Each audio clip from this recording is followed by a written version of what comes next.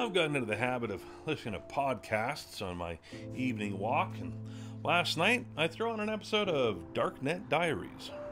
Then this morning I see some absolutely batshit crazy news about exploding pagers across the Middle East.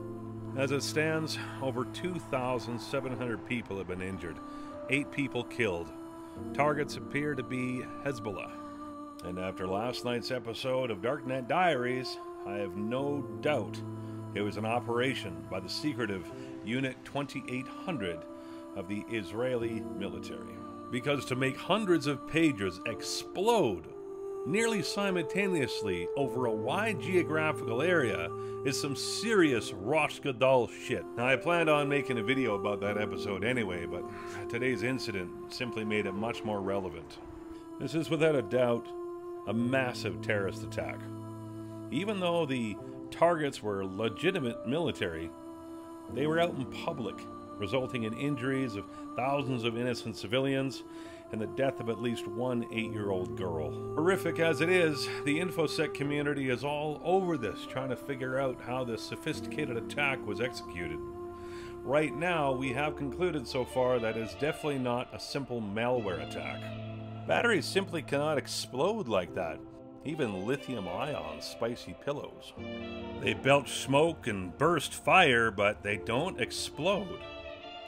These were outright explosions.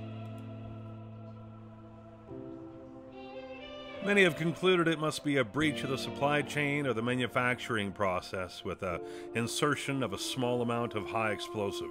Honestly, there are many outfits that could have carried out this attack, but the callousness, indiscriminate public execution of it, and the targets being the number one enemy of Israel all point to Unit 2800.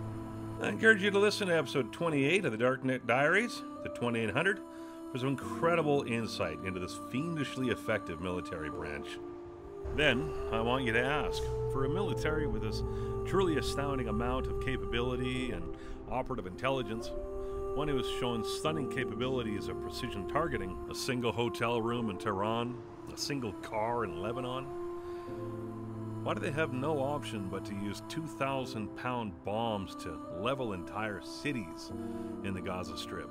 I don't support either side in this conflict. It's impossible to. But when you inflict massive civilian casualties, all you're doing is keeping the hate going. If you have the ability to be precise, do so. This is a truly terrifying example of cyber warfare, almost Black Mirror levels of ingenuity. And to be carried out by an immoral group with such incredible infosec, cybersecurity, intelligence capabilities makes it even scarier.